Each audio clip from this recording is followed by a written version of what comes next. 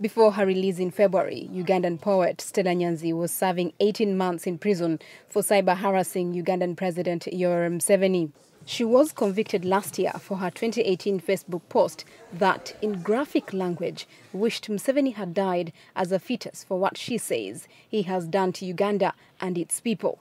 Nyanzi says being in jail gave her time to write a fresh book of poems aptly titled No Roses from My Mouth. I sit on the meager prison bedding spread on the floor, lean against the wall, pull out my pen and notebook and write whatever I please. Ah, what freedom to write. Although my writings are often confiscated by prison staff during sport ward searches and routine body searches, I insist on writing as a form of resistance. After her conviction, some Ugandan writers were wary of offending the government with lewd comments. Nyanzi's supporters responded to the chilling effect on free speech by applauding her use of prose to take on politics. She's our hero. I think we shall celebrate her. One day, there will come a time when we shall say, Stella, you are the reason we are better governed because your fighting has given us all these beautiful fruits. Ugandan authorities have repeatedly detained Nyanzi for criticizing Museveni, who has been president for more than three decades.